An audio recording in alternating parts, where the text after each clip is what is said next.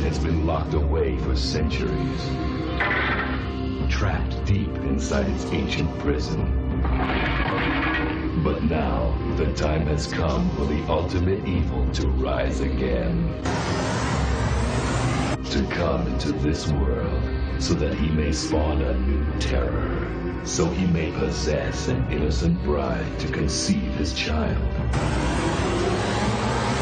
When she has given him his only son, the new prince will lead an army of darkness in a black, unholy war. And wage the final battle for the soul of all mankind.